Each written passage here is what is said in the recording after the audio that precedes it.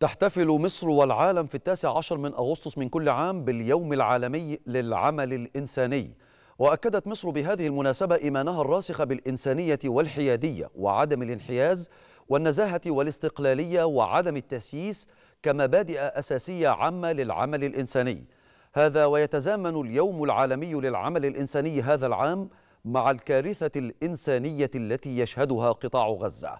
وحرصت مصر منذ بداية الحرب على غزة على تقديم يد العون للأشقاء في فلسطين لتخفيف معاناتهم وتوفير احتياجاتهم الإنسانية العاجلة لهم.